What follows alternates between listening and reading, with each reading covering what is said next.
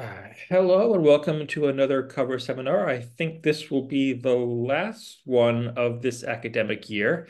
Um, and um, to have a, a fittingly excellent ending, um, today we are joined by Tongyu Wu, who is going to uh, talk with us about her work on AI and data labor and expanding who's included in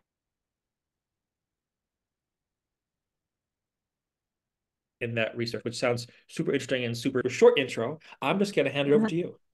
All right. Sorry about that. Hey. Uh, okay, yeah, I'm so sorry about that. Okay. Everybody can see that? Okay, cool. Uh, I mean, let me apologize one more time. I mean, that, that that's never happened before, but uh, I don't know what's what's really going on, but thank you again for inviting me. And uh, let me introduce myself one more time, very briefly. So I'm um Tongyu Wu. it's pronounced absolutely correctly, and uh, I'm a assistant professor at uh, Zhejiang University. So uh, today I will be presenting my work, which I just titled that as um, expanding the scope of digital labor research. So before I'm going to detail about my research, I want to first uh, give you a, a an overview uh, in terms of like my general research direction. It can be directed into three directions. So the first direction concentrate on the AI data annotators as how as the low status the digital labor group. So this is actually an ongoing research. I use this project to explore basically the the the the data annotator in the AI industry and also like the Chinese government's role in reintermediating the AI data work into the local society. But I won't talk about that topic today, but I'm happy to share if somebody want to uh, uh, discuss about that. But the first part of my today's talk will uh, concentrate on the related uh, uh, topic in the data annotator industry it will be on how the annotation work uh, play an important role in bridging the gap between the human value and the machine recognition. And the second direction of my own research is about the software developer, uh, which has the highly skilled uh, digital labor group. So a series of my publication actually, uh, including my forthcoming book, are associated with this topic. So majorly, I used uh, uh, 13 months of ethnographic work in a Silicon Valley company to reflect on how the US tech industry trying to develop strategies in managing engineer to squeeze out uh, uh, creativity. And uh, if time allowed, I will talk about this project briefly in today's talk. And the third direction is actually for my future research. So for my re future, uh, future research, I'm thinking about to show more about the inherent connection between the highly skilled and the low status, low status digital labor group by using the artificial uh, intelligence industry as the case study. So let me start by talking about the first project. It's titled uh, Bridging the Human AI Gap at Whose Cost? Skill and organizational alignment in the data uh, annotation work. So to start my presentation, I will briefly introduce a key issue that uh, is a current uh, major focus in the field of uh, AI. The issue is known as the alignment problem. So the essence of the alignment problem can be defined as that the human society increasingly relies on the AI to make decisions and to take action on our behalf so for example, uh, in the autonomous driving field, driverless car can replace human to make decisions like whether to move forward or brake. In order to make such decision, the AI model firstly have to train to align with the human world uh, recognition, such as recognizing the road obstacle, uh, the road obstacles, or like uh, other vehicles, or like traffic lights. And uh, uh, or let's take the most famous the AI model ChatGPT, for example. So one challenge that ChatGPT faces right now is to close the gap between the AI understanding of the human society and the human's own understanding of, of our society and the norm and the value. So to close the gap then become a very critical question that the computer scientists are trying to address. That is how can we secure ensure that the AI model accurately capture the uh, the best human value rather than magnify the worst? This is the question called the alignment problem. And it is first proposed by Brian Christian, who is a, a researcher trained in uh, computer science. But for today's talk, I'm trying to provide some sociological reflection behind this alignment problem. So first, I want to uh, emphasize that, that behind this alignment problem, there is actually lies an important labor problem. So the essence of the alignment is feeding the machine a training data set. And the task of adjust this data set to align with the human thought and norms falls on the shoulders of the data annotator. And the second point that uh, I want to discuss is that while the mainstream researcher tries to portray the data annotator a labor as a very low skilled, I want to show that actually data annotator uh, actually involved a variety of the labor skill. And those skills are hidden or undervalued largely due to the, the, the capital interests. So uh, based on the above the uh, consideration, I propose the following research question. First, how are alignment strategy formulated during the AI development. Second, how does the AI achieve alignment through the data annotation process? And third, how is the data annotation labor organized and controlled in the practice of the alignment? And what are the skills required for the data annotation labor and how are those skills are developed? Uh, so to discuss those issues, it's essential to engage with the literature on the human-machine uh, relationship. There are actually two camps in the debates. So there is one camp called the technological discontinuity camp. It suggests that new computing technology like uh, machine learning often create a historical turning point. And after those turning point, the machine can basically replace the many human jobs. And uh, on the contrary, uh, a scholar in the technological continuity camp emphasized that no matter how innovative the computer te technology becomes, it still inherent have uh, like uh, limitations. And those technological limitations required actually significant uh, uh, human intervention. So I believe that the technology continuum camp uh, more persuasive uh, even so, the theoretical approach still have room to improve. So scholars in this camp often focus on the emergence of the new labor group to address the technological limitation. Uh, however, what I want to emphasize is that the rapid development of the modern computer technology often does not lead to the emergence of the, the, the new labor group. Instead, it forces the existing labor group continues to recognize, uh, to reorganize their skills.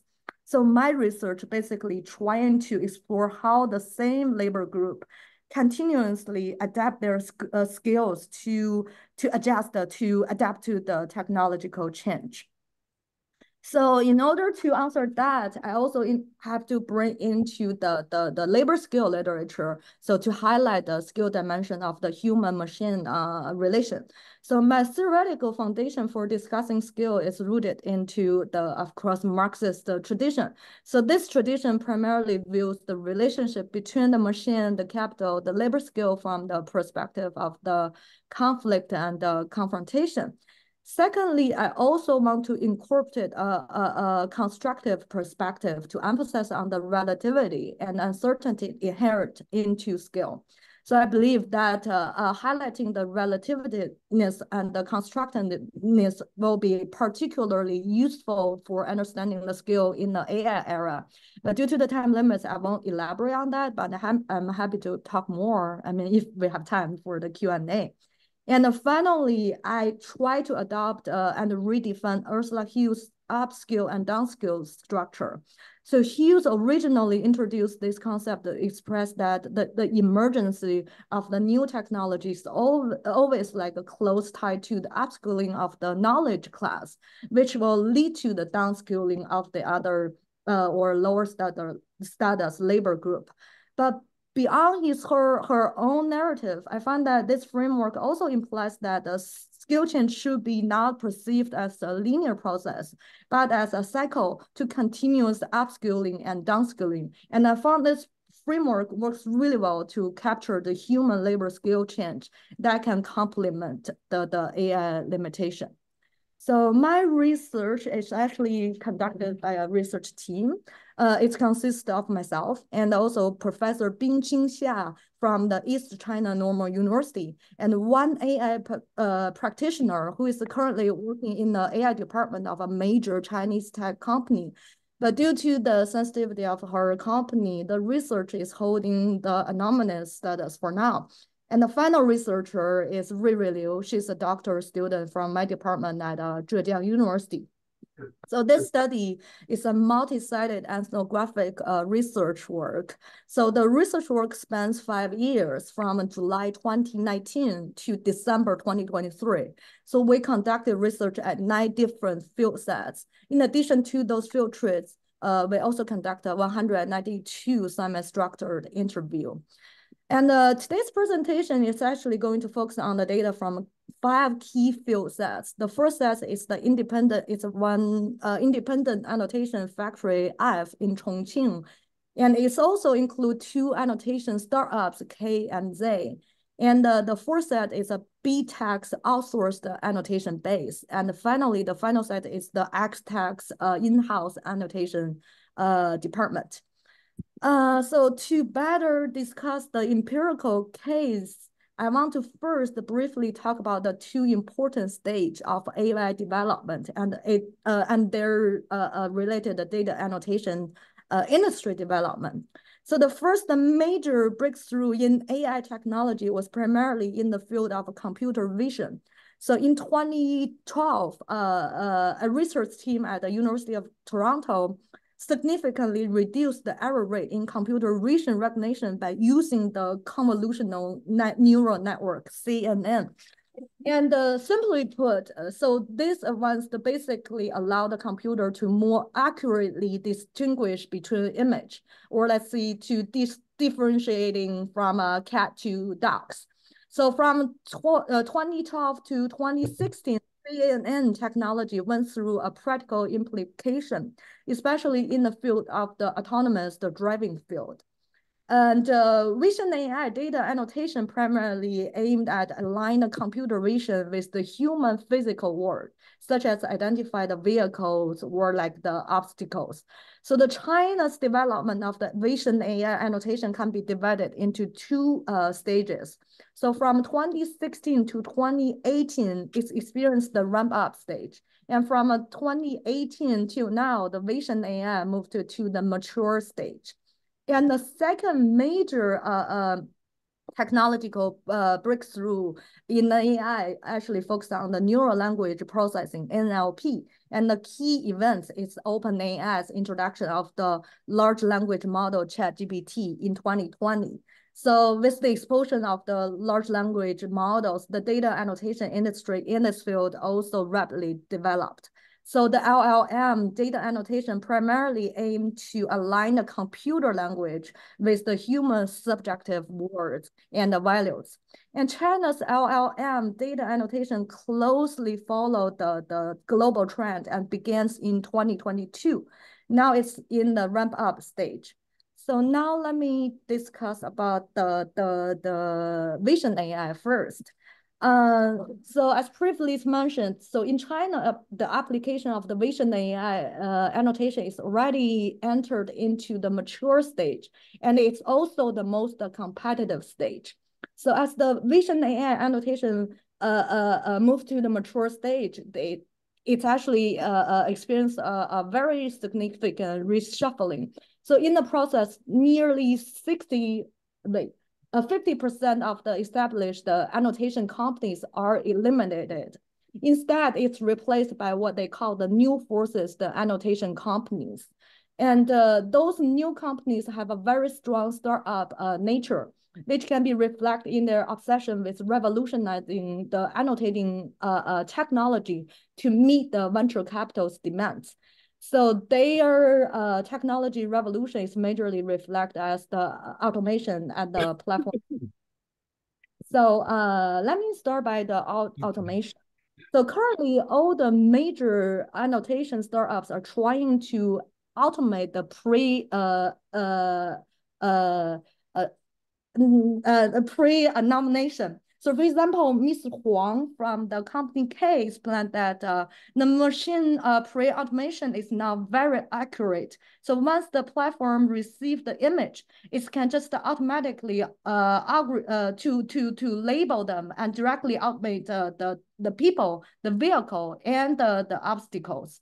So from the Actually, the capitalist uh, perspective, the pre-automation largely reduced the skill requirement for the automators. For example, Ms. He from company B mentioned that uh, autonomous driving office involved a, a, a, type of 3D cloud automation. It at least uh, takes two or three months of training to master those 3D uh, annotation rules. But with the automation process, this training time is completely eliminated. So lower the skill requirement also reduce the, the educational requirement for workers. So as shown in the, the, the following code, actually a general manager of uh, the B-base explained that the automation allows the company to lower the education requirement from a college degree to a vocational degree. But in, react, uh, in reality, if you ask the workers, you will find out due to the insignificant uh, accuracy of the pre-automation, workers actually spend more effort adjusting the pre-automation than they would uh, automating uh, uh, from the scratch. Uh, so that's basically for the automation. And now I'm moving on to talk about the, the, the, the platformization. So, uh, so actually, most of the startup trying to improve their uh, platform technology.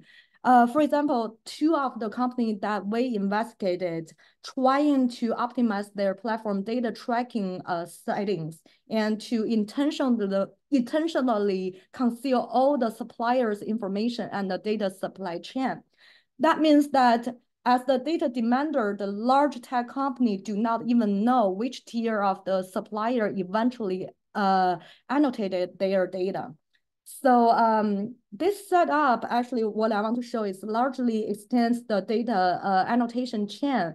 For instance, for instance, Ms. Wang from company B explained that annotation may seem like a, a single job, but it's actually involved a lot of linkage broker, Chuan Chuan. So the extended uh, chain actually serves uh, for the capital interest and also for the government interest as it allows the third and fourth tier of city to participate into the AI production.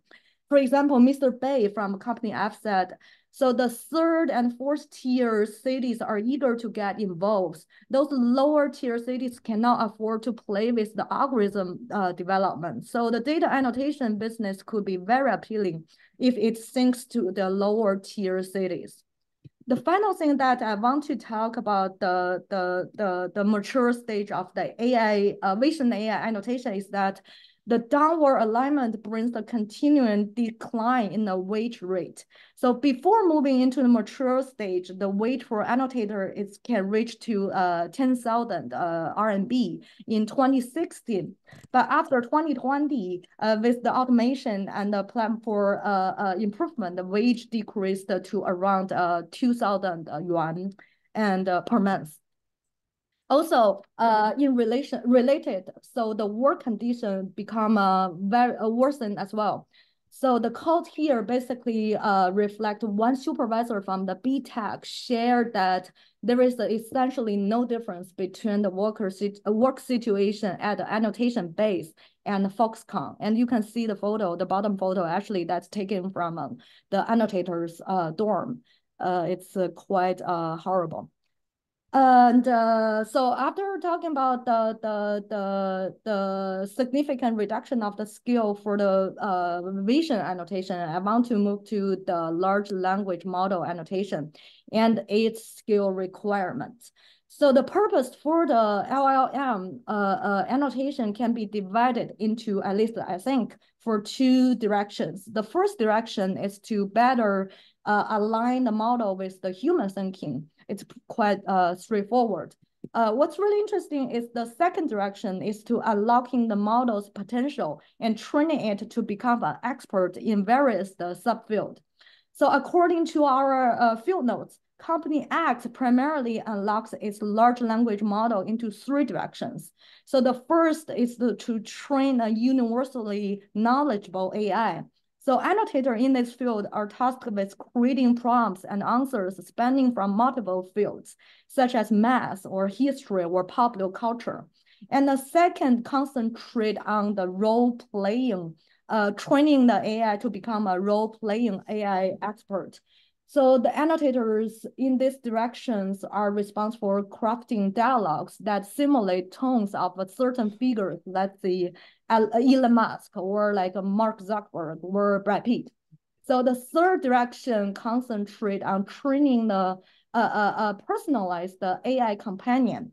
So annotator need to write sample uh, uh, segments to fit into the model and training it with ability of providing uh, advice and companionship to the users. And uh, based on that uh, understanding, I also want to talk about the three important features of the LLM uh, annotation.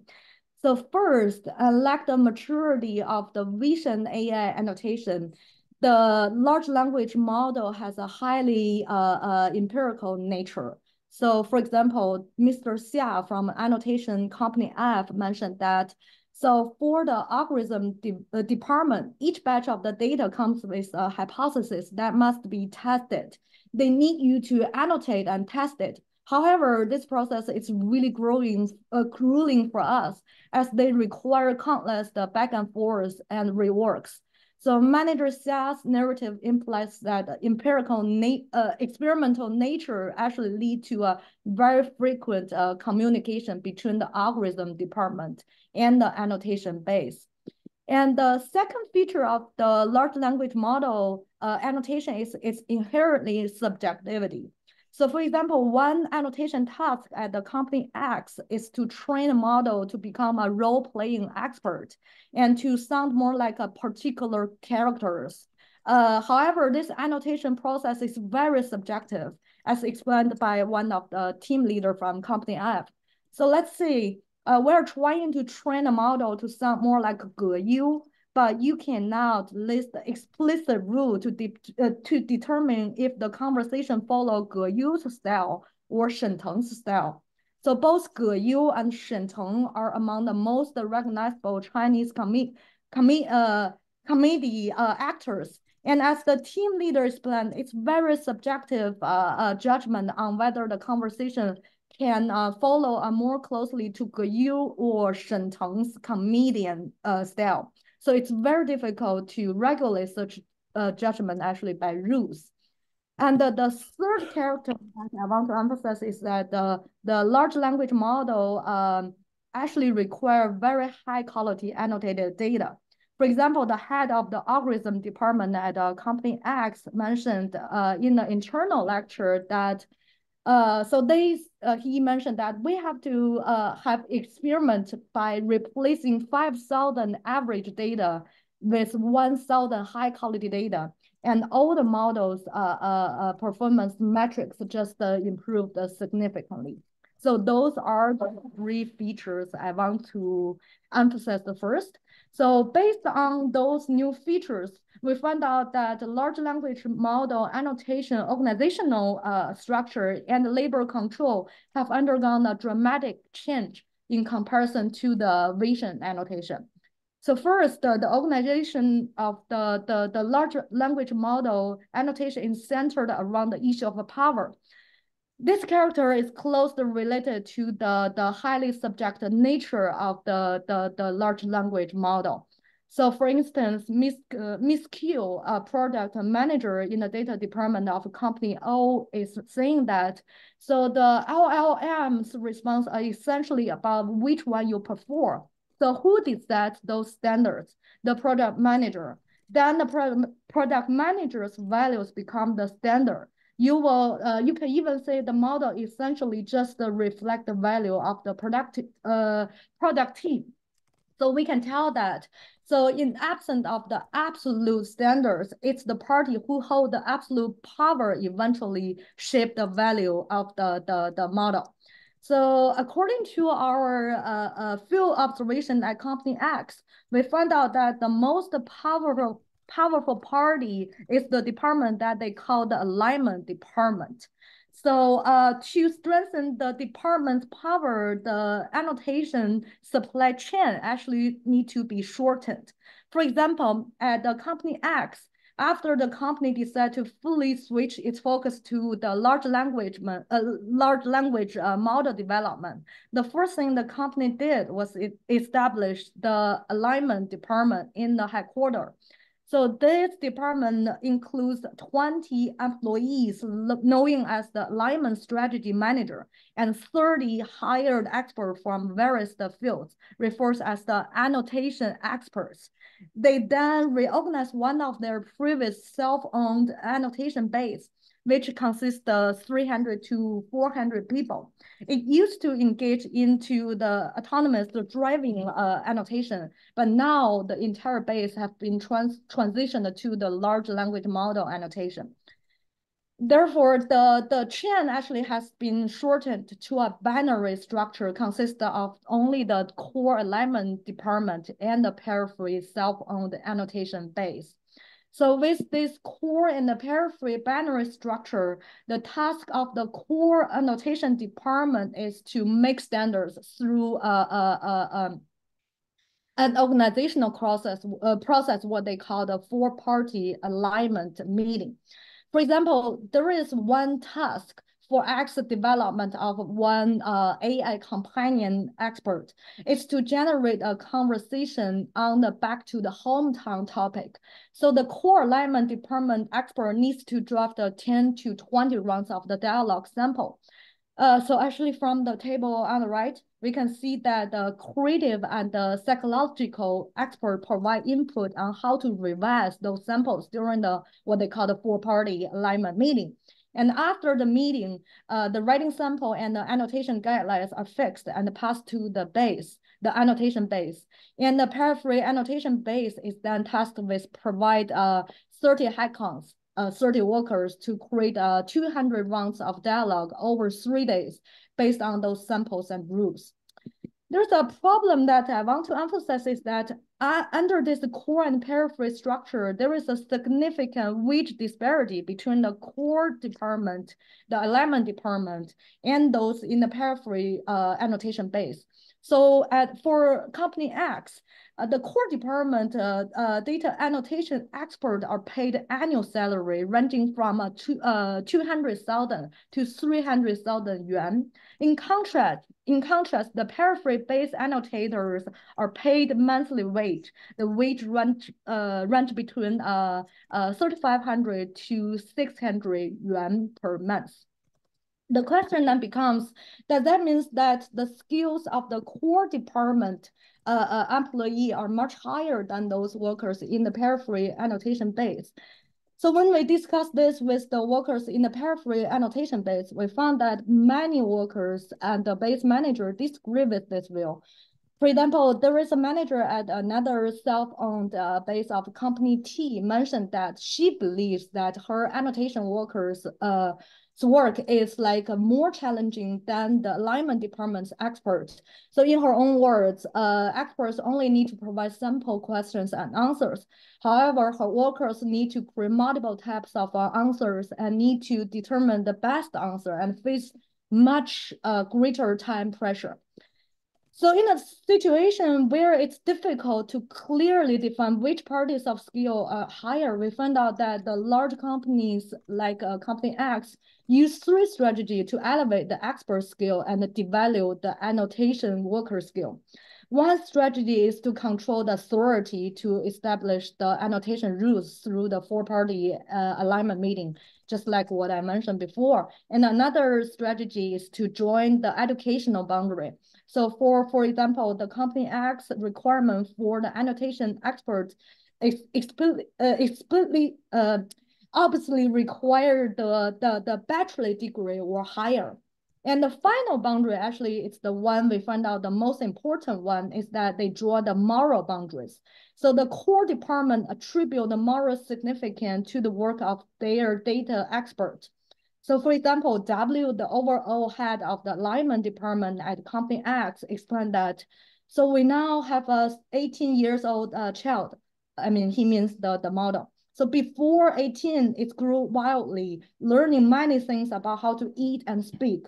After 18, we need to decide what kind of textbook to use to turn them into expert. We are like the Ministry of Education that compels textbook. Later, we took another occasion to discuss uh, this metaphor with W again. And he further uh, uh, uh, likened the annotators in the base as the, the, the AI teachers and he emphasized that the teachers must follow the Ministry of Education's guidance, means need to follow the alignment department guidance. So the final thing that I want to emphasize is that um, the annotation worker's skill not only being developed, but also being forced to continue and uh, upgraded during the ramp up stage. So uh, as the premise, uh, parameters of the large models keep expanding, those models are become increasingly uh, intelligent. So for example, during our fieldwork, we document an incident uh, last November, I mean, November 2023. Uh, so when the company access large uh, language models, uh, parameters increased from uh, 100 billion to 200 billion, the model suddenly became generating dialogues that the uh, annotator, annotation expert rated as good quality. So that means the company no longer need the annotation workers to produce good quality dialogues, but instead they require them to elevate the dialogue quality to excellent level. So faced with this issue, the company acts uh, uh, self-owned base have to organize emergency training to produce uh, the, the excellent level dialogues. And uh, the, okay, so the, the final thing I want to talk about is as the large uh, model parameter increase, their self-learning ability also become highly uncontrollable.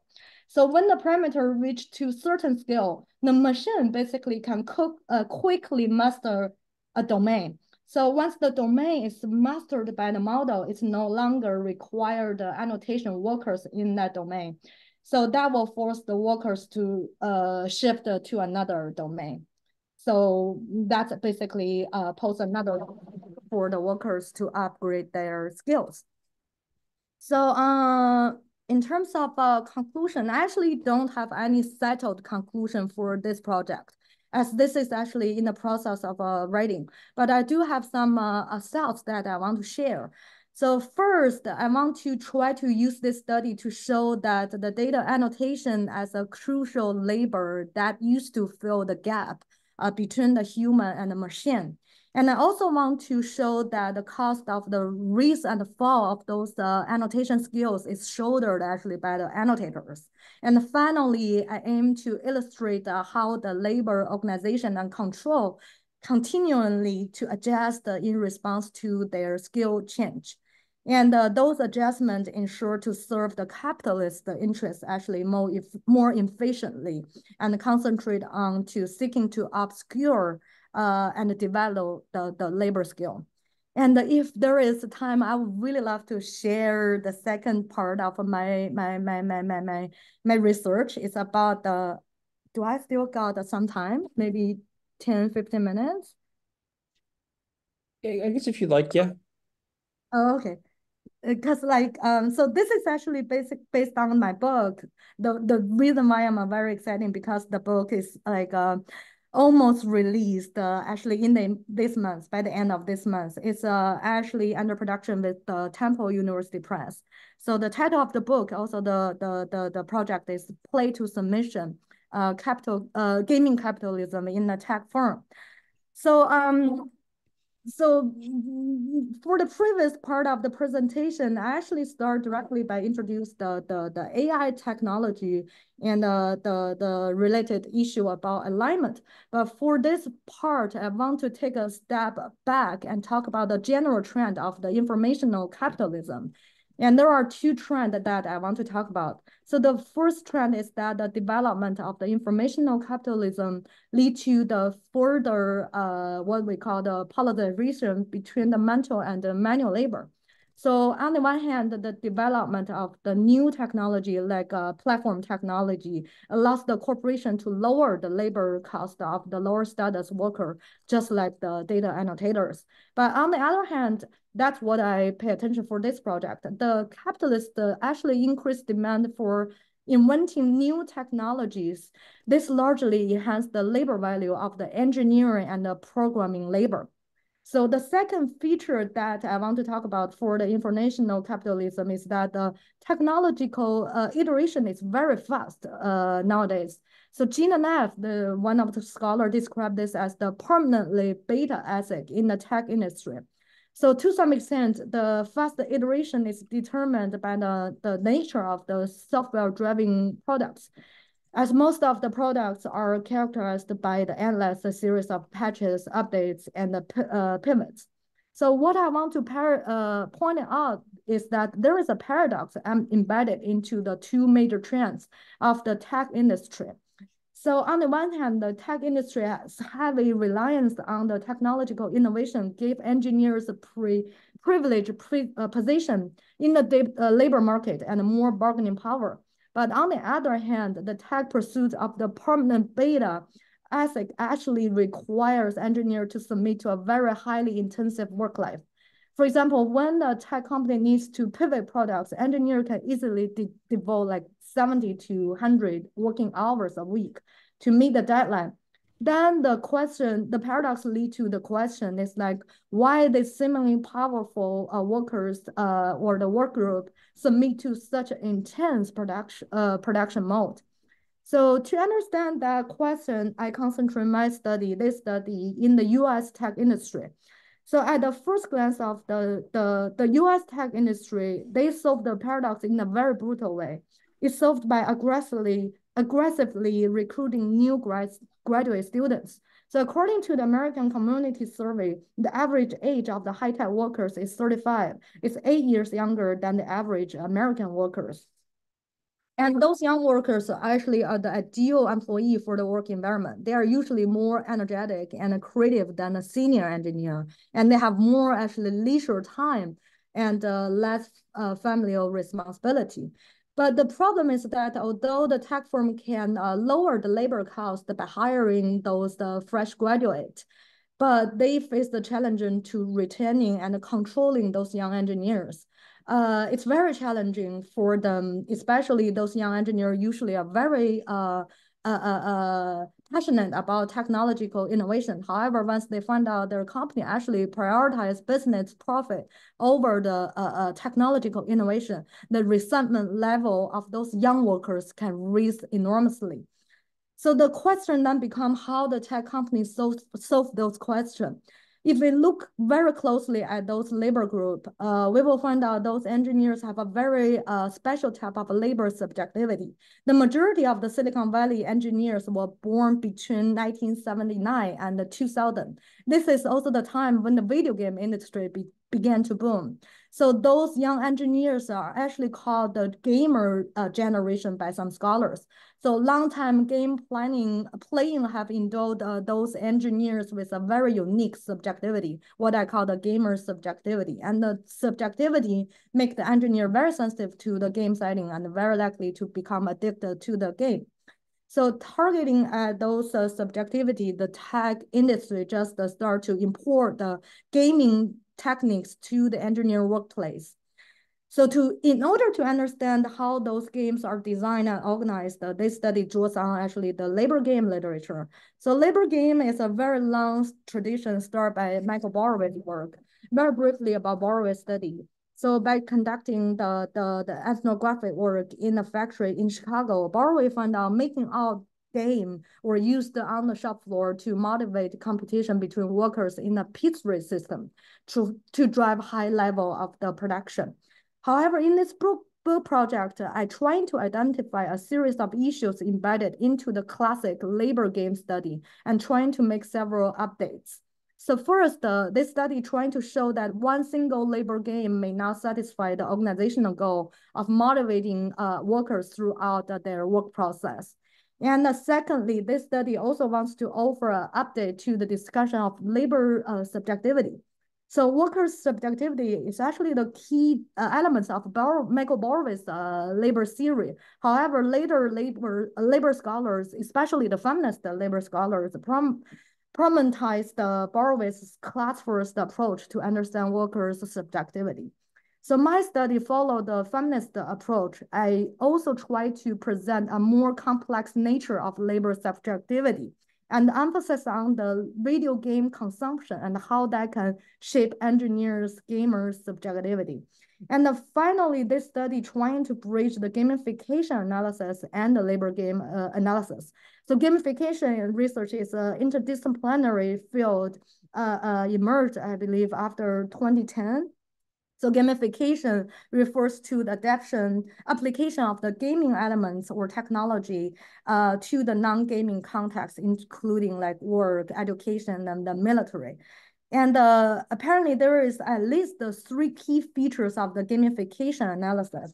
So the first is really emphasized on document uh, various gaming technologies like points or badges. And second, gamification analysis emphasizes more on the systematic top-down setup of the gaming environment. And the third feature for the gamification study emphasized on the discipline and manipulate individual behavior uh, through setup of the game element rather than the collective behavior. So my study trying to suggest that incorporating the gamification analysis into analysis of a labor games actually can enrich the study of labor game. For example, since the labor game are organized the bottom up, there is a focus on the role of the middle level management. But uh, the in contrast, the, the top-down nature of the gamification makes it really concentrate on the role of the senior manager. So combine those two approaches actually can remind us that in different, uh, at least uh, there are different managers' role in organizing like games. So my research take place in American high-tech corporation that I call Huli. Huli is one of the top 20 multinational corporation in the US. So I collect data through participant observation and semi-structured interview. So for participant observation, um, uh, I actually conducted 13 months of uh, observation at the org that I call wallet org. So the top picture actually shows the one team area where I hang out almost uh, every day during the 13 months. In addition, I also interviewed uh, 66 uh, uh, informants. Uh, just very briefly about the gamers and the game. So uh, let me start by talking about the, the, the, the, the gamers. So among all my interviewees, there are 29 gamers and 37 uh, non-gamers. So as you can see from the top table. Uh, one thing you need to notice is that a gamer is actually a self-label identity. So although the non-gamers do not self-identify as gamer, but they still spend very long time playing video games. And uh, through coding the interview, uh, I found out there are at least uh, uh several important themes in defining the gamer subjectivity, uh, subjectivity, such as those gamers are uh, very like to retreat to the gaming world to make social bonding, and they usually possess very strong competitive competitive spirit, and it's very easy for them to mobilize crisis mentality. And due to the time limit, I won't present the codes. And uh, I want to talk about the games. So uh, I found out Huli is filled with more than 50 type of games, which I call the field of game. So as you can see from the table, actually the bottom table, I have also categorized those game, games into four major groups, which include the simulation games, racing game, cross-sourcing game, and pranking game. And uh, I'm going to just uh, talk maybe a little bit about just uh, one game. Uh, so it's the cross-sourcing game. So the the one cross-sourcing game that uh, I am going to talk about is called the badge collection game. So the badge collection is embedded into engineers' volunteer maintain, maintenance uh, work. So one thing we should notice about the software uh, software development is that the development teams are encouraged to only deploy a minimal viable product MVP instead of creating a perfect end products which means that uh, the development team, uh, they own, when they launch their MVPs, they actually left a, a lot of a gig uh, tasks that unsolved in the system. So the gig tasks are the tasks that are less urgent and uh, scattered around the company waiting to solve in the future. So solving the gig work is not the engineer's required uh, responsibility, but belongs to the volunteering work. So to motivating the engineer to contribute actual effort to the gig work, uh, the Huli gamify this work and transform it into a, a badge collection game.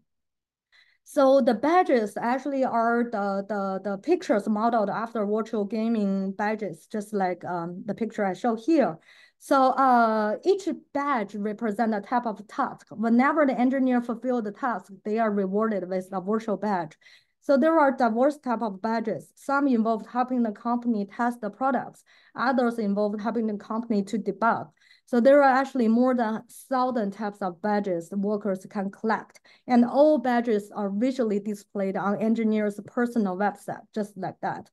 And uh, those badges uh, uh, displayed apparently very similar to the badge displayed in the video games.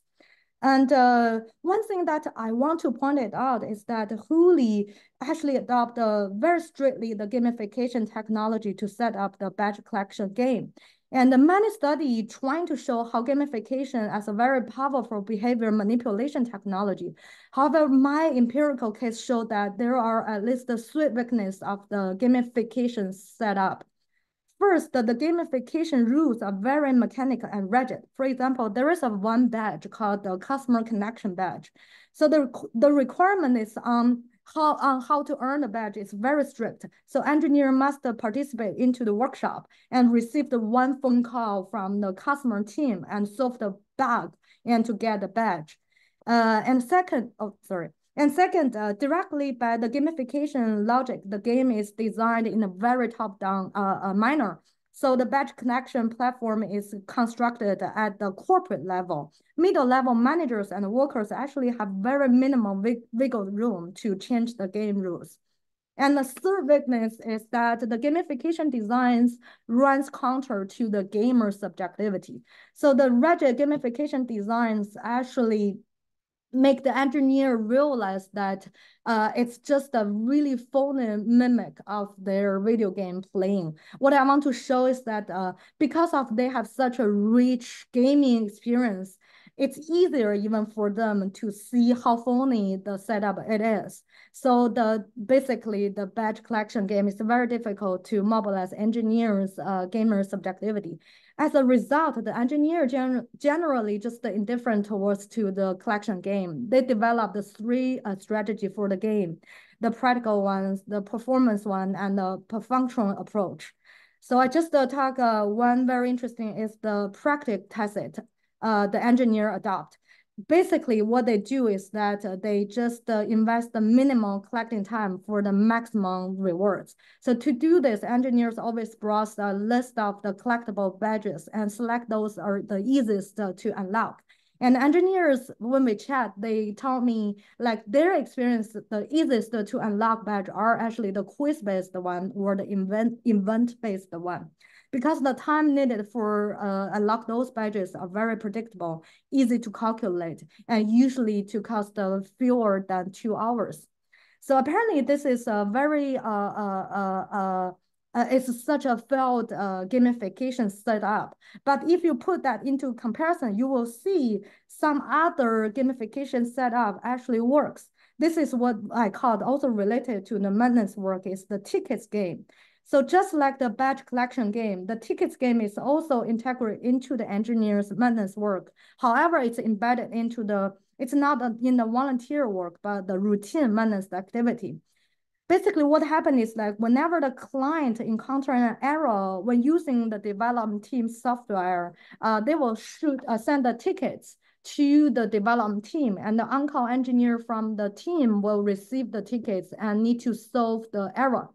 And there are two uh, key issues actually to consider. The first is that the manager do not want to over accumulate the tickets because the higher number of the tickets will uh, indicate the more unresolved issue in the system and thus to increase the system's uh, uh, vulnerability. And also the second point is that the backlog of the a lot of unsolved tickets tend to cause the resentment from the engineer. The reason is that uh, a large of uh, a large number of tickets actually shows that the company just prioritized develop the what, what I just mentioned the minimum viable products MVPs over optimize the existing products. This actually lead to a lot of uh, resentment from the engineer. So to deal with those issues, the engineer, uh, the, the, the, the company developed the, the game they call the ticket game.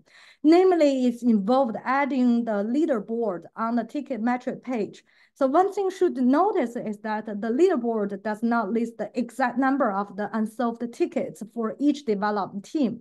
Instead, it's just uh, rank the team based on the numbers of the unresolved tickets, with the team have the fewer unresolved tickets staying at the top of the position.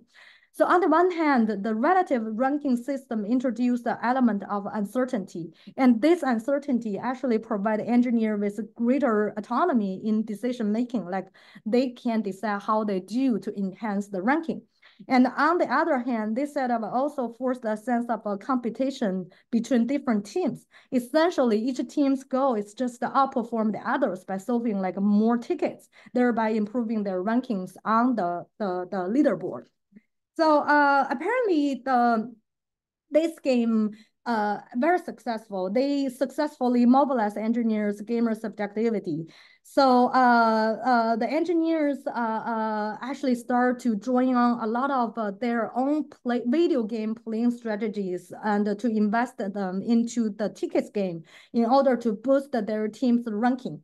So one popular game strategy used by the engineer is called the tickets marathon. It means whenever the engineer saw the tickets run, uh, ranking, their team's uh, ranking dropped uh, too rapidly, they would just uh, choose a weekend and uh, just uh, free from any interruption and free from any other work to just concentrate on resolving those many as many tickets as possible.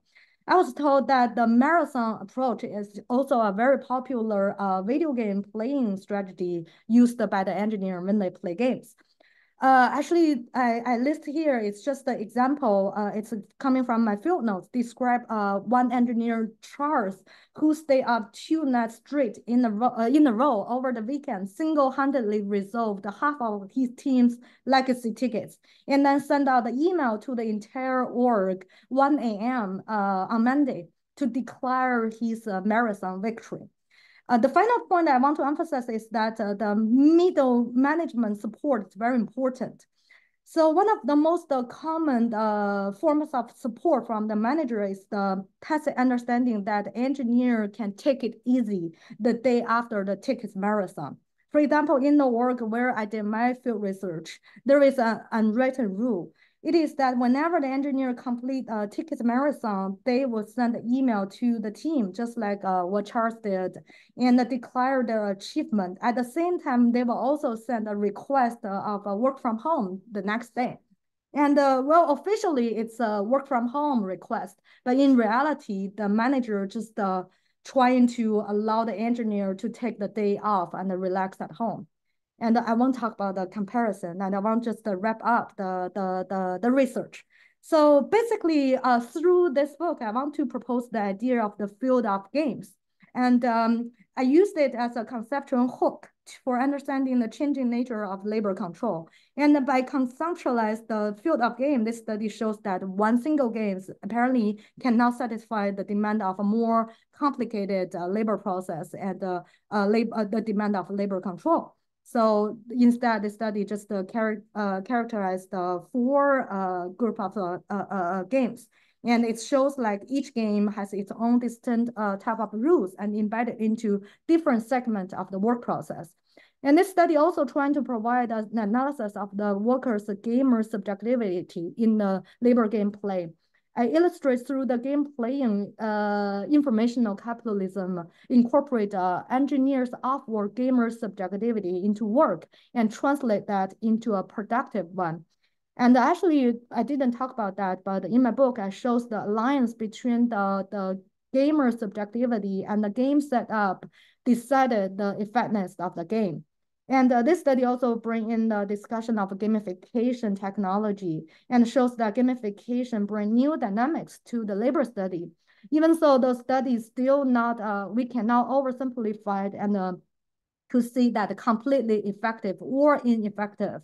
Instead, I want to show like there are detailed conditions under which the gamification can work, other time cannot. And finally, the study trying to alert the readers that uh, uh, the the the the damaging uh, impact of the the the whole gamification or gamified work environment on employees' well-being and work-life balance and uh, collectiveness. So that's it. I'm so sorry for for extend the, the time.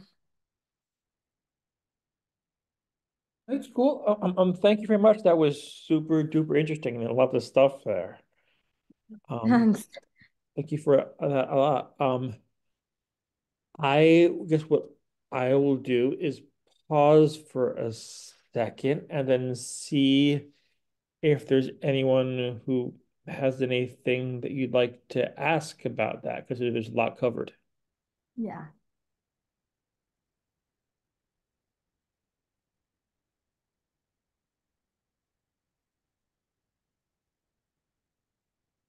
Sorry, looking what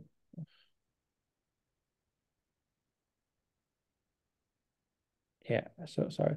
Just looking at the chat here. So there was a few people who who who, who had to leave. Um, oh, Mm-hmm. okay. Um, uh, Peter? Yep. Uh, I, I found it very interesting, especially as you as you talked about that what is usually out left out of these discussions.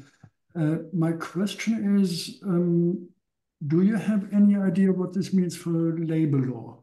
Because what it obviously shows that the, the traditional understanding of work of uh, employment doesn't work anymore and probably will not uh, work at any stage anymore if, if we take Mhm. that part of, of the development. Um, at the same time, we need some kind of, well, call it protection or uh, stabilization of the system. Can we do it within labor, within employment relationships, or can we do, do we have entirely different sociological, societal uh, uh, outlines or structures there? What, what, would you have any idea on that?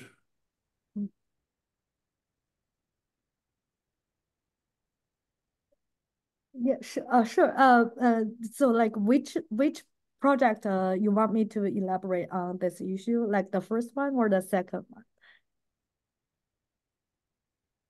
Well, the, the legal perspective in, in well, both the legal perspective and the employment uh, uh, perspective usually works on this traditional pattern of um, having a full full-time job for many years and being in employment. Uh, that's it, uh, and then you have some security going hand in hand with it. Uh, Right. Obviously, what what you talked about, uh, it's it's it's not able to to maintain it. Um, question is is it would we or should we want to maintain it or should we just uh, try to think about a different different uh, way of of uh, securing existence not employment Okay, sure. Uh, yeah, actually, um, I love that question. Thank you so much, Peter.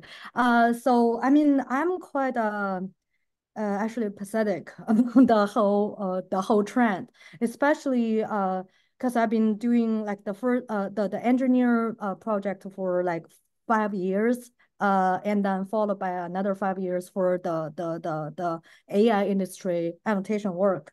And uh, the most radical uh, fundings I have is coming from the, the AI industry, especially like how they hire people uh, uh, from the platform. I didn't talk about that a lot, but uh, that is the one of the very scary uh, fundings of mine. Is like as I mentioned uh, during the the talk, uh, when they kind of extended the supply chain, right?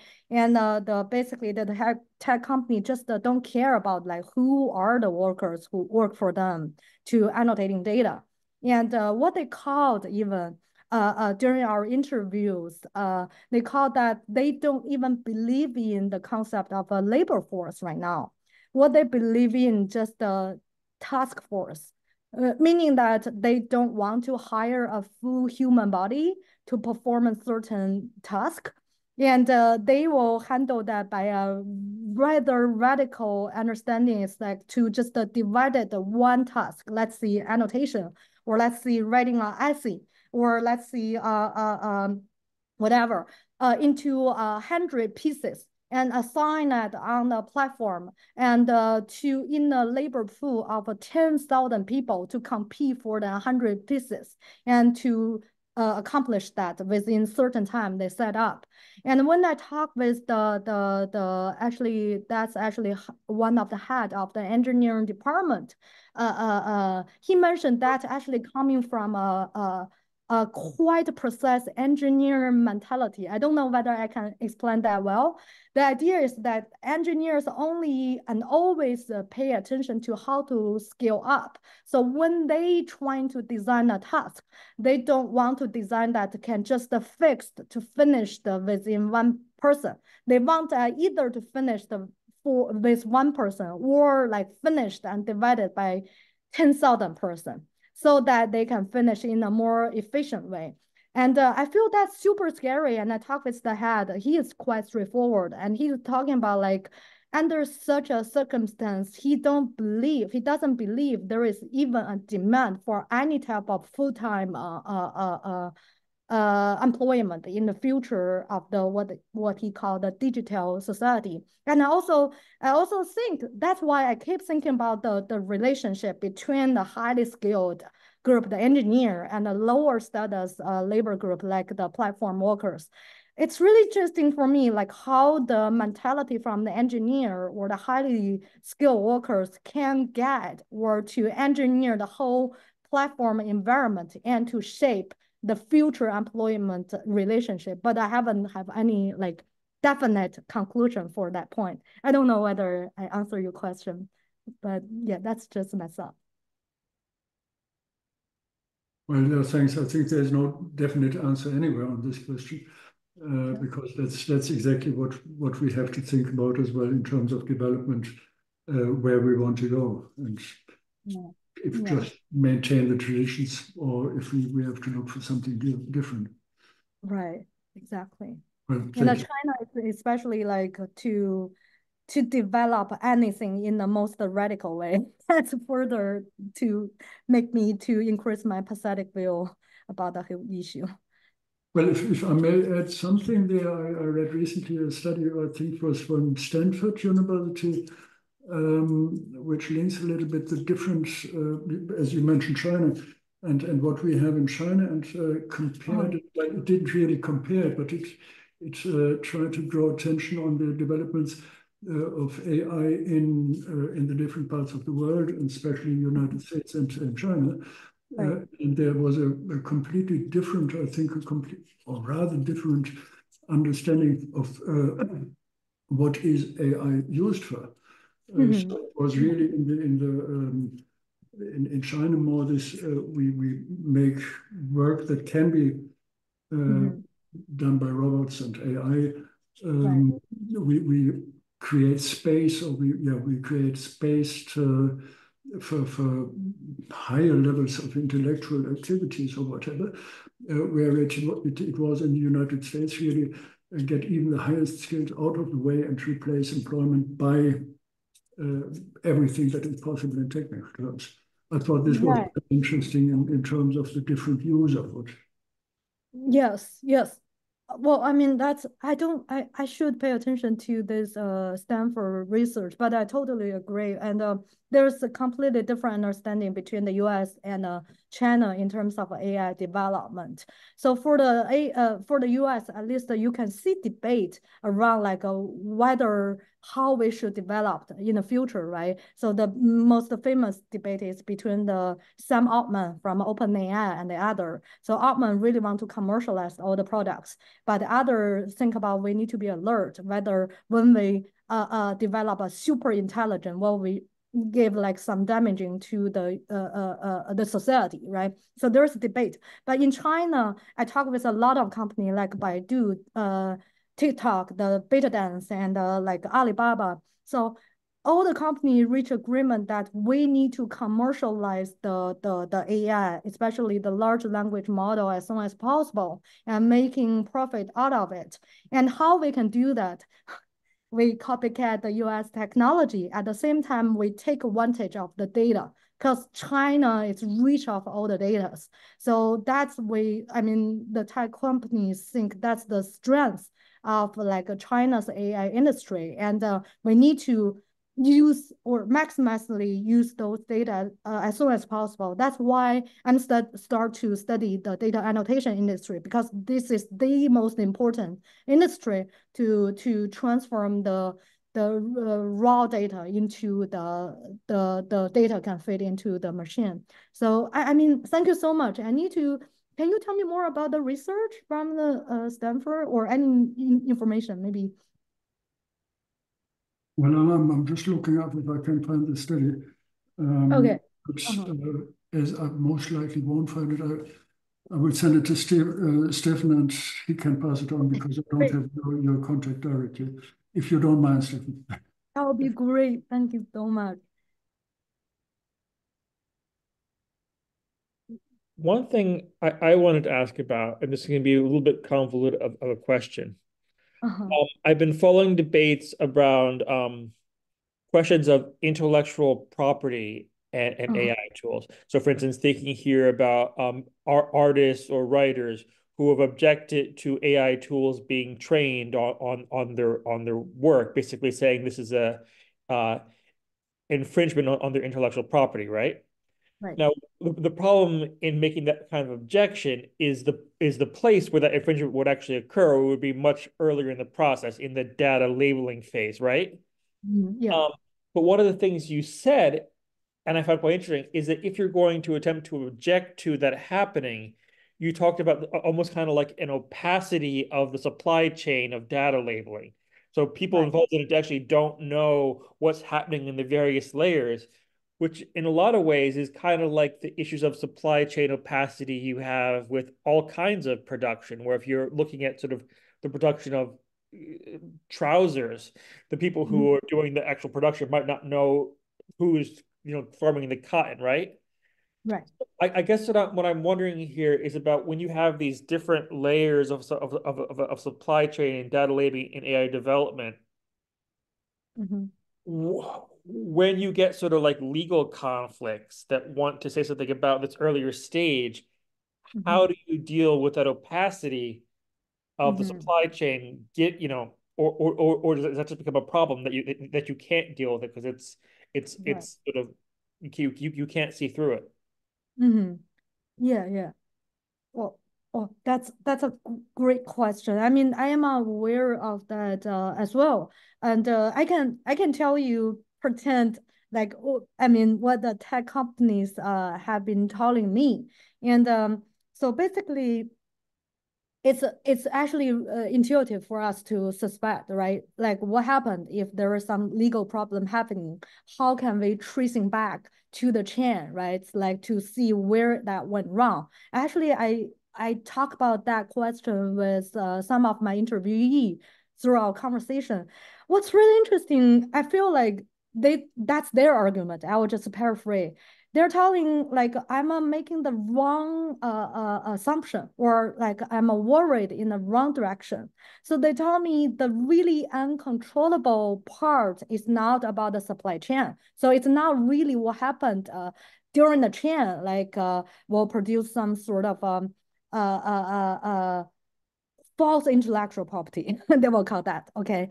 But the things like they feel the most scared of is like the, the uncontrollable phenomenon coming from the machine. So what they call is the self-emerge. So basically, that indeed a black box, and I have a lot of uh, like uh, uh, examples. They talk uh, they talk about how they just uh, tracing all the chain, getting all the data, and putting into the machine, and it's the output coming out of uh a very like completely unimaginable, scary like knowledge, what they call the knowledge or like value. So I don't know that whether that answer your question, but that's the first reaction because we have exactly the same like conversation about like property right, like the the the whole information flowing during the supply chain. And when I talk with the the the industry, that's their like reaction.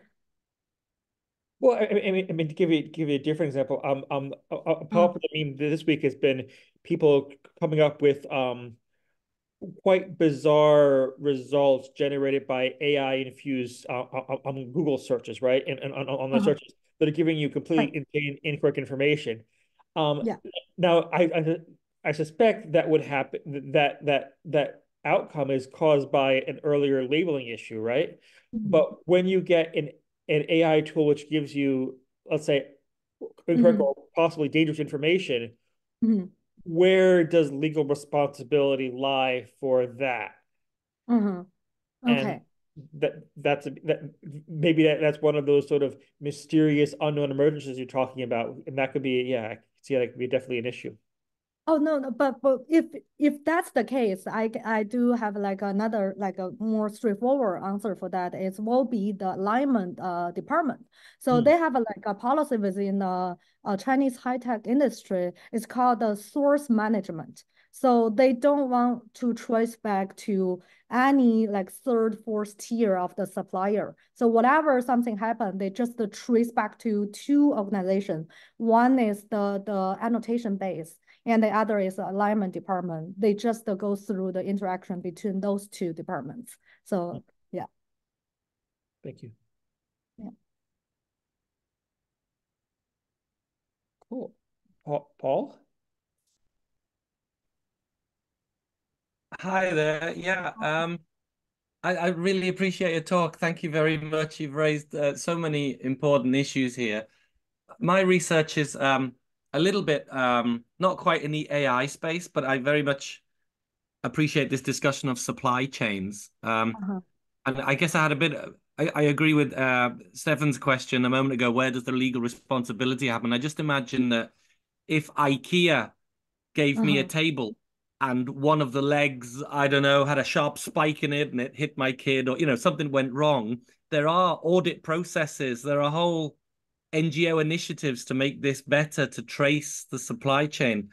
Mm-hmm. Um, and I'm wondering, I'm wondering how that is in the China side. I know in the US we do have NGOs, we do have people speaking out, as you mentioned mm-hmm. before about the debates that are going on. Is there that kind of response also in China, putting pressure on the companies to kind of maybe audit themselves, self-regulate, or even have formal regulation? Um, mm that would be that would be my first question. Is there that civil society pressure, and how how do you see that from the interviews that you had? And a follow up question is: Do you have the same kind of um, tech tech bro culture, for a better word? You know that tech bros mm-hmm. can't be wrong, and the singularity is coming, and get on board, or you know, don't look at the supply chain, just look at a great product. Is that the same also? I just found it really interesting what you're sharing about the experience coming out of the companies um, in China. Uh-huh.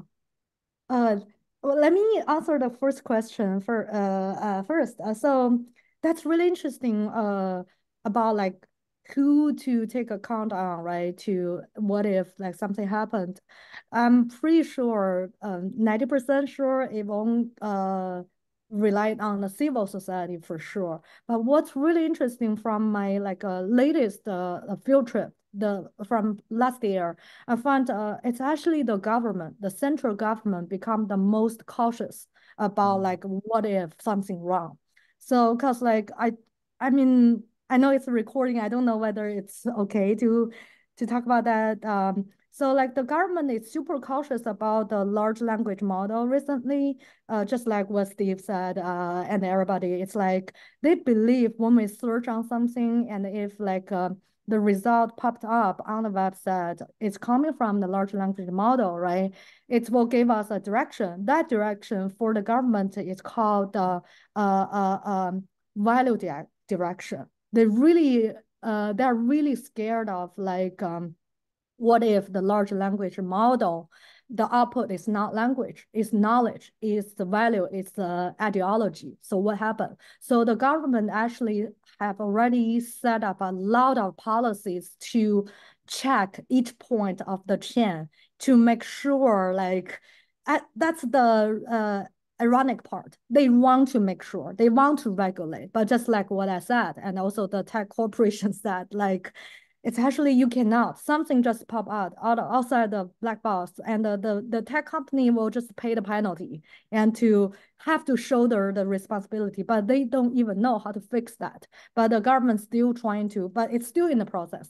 They're trying to i'm doing more research uh uh with the Chinese official, but it's super difficult to to learn more, like how they trying to I don't I don't want to say they are performing the civil society uh, responsibility, but they are doing that uh, uh, in a really ironically similar way to check each point of the supply chain. And the second question, I mean, can I check one more time? I don't quite understand about the tech bro part.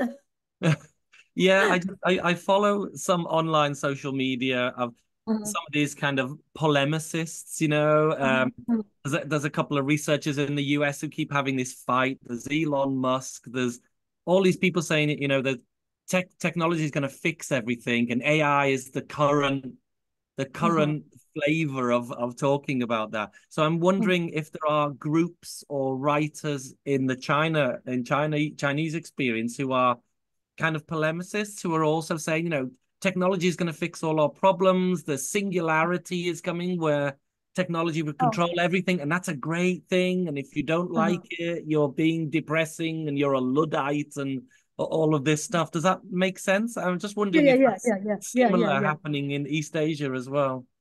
Yeah, I mean that's a quite. It's interesting. It belongs part of the youth culture in China. So like there is a lot of like uh, fictional novelists and readers trying to. So there is a, like a culture called the lay down culture in China. So it's people people doing nothing, right? Just uh just uh, to enjoy the life because what's the point? point and uh, it's really interesting i actually joined one of the group the facebook group and the chinese uh, uh, grassroots group to discuss about that it's reinforced the lay down culture it's because like they believe in the singularity and they mm-hmm. believe like at some point part of the conversation also about the, the self-emerge, right? Like what if the AI self-emerge uh, intelligence, right?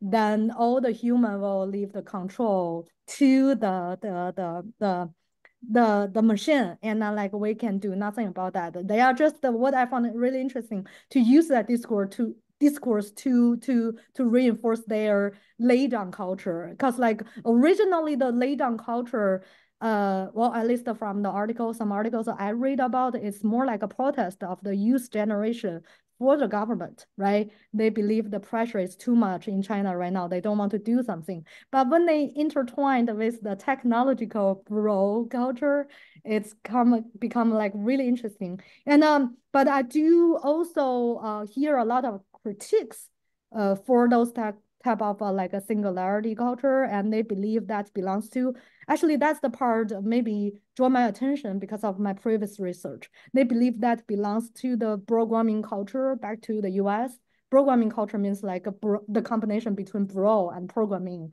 And they believe like this is the group dominate the discourse. Elon musk is one of the the, the like the the symbol of the brogramming culture and uh, they're cautious about like we cannot let the brogramming discourse coming from the US to dominate the Chinese culture. There's much different. We need to like cautious about that. So I, I do I do pay attention to like debates around that uh, issue. Thanks so much for pointing that out. Yeah, it's super interesting how it develops in different ways, but there's some similarities like the youth culture, and we also have Bitcoin being attached to that culture here. So super yeah, yeah, interesting to hear you talk about that. Thank you. Right. Cool. Are there any other other questions, or or or or, or should we thank Tong Tongyu and and go have lunch? Um, yeah, yeah, yeah. I think it's time for you guys to have lunch for sure. Sorry for like the beginning of the technical issue. I don't know why. Every time when I talk about technology stuff, there are technical issue happen. I, I don't think it would be a real academic event if there was wasn't at least one tech failure. That's kind of like part it just goes with the with with this with the mm-hmm. thing. Yeah, yeah. Okay. Well, okay. in that case, thank you very much for coming along. That was thank super you so much for inviting me. Doop.